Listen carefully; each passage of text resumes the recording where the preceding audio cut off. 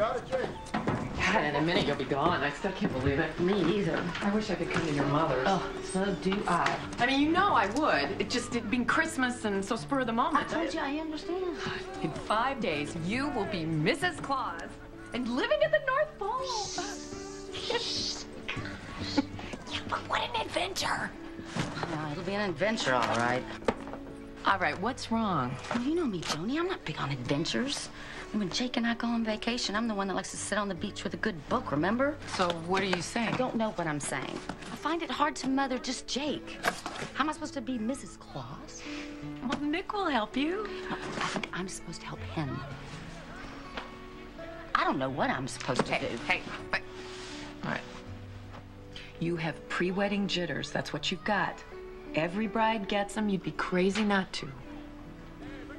You'll do fine. You're right.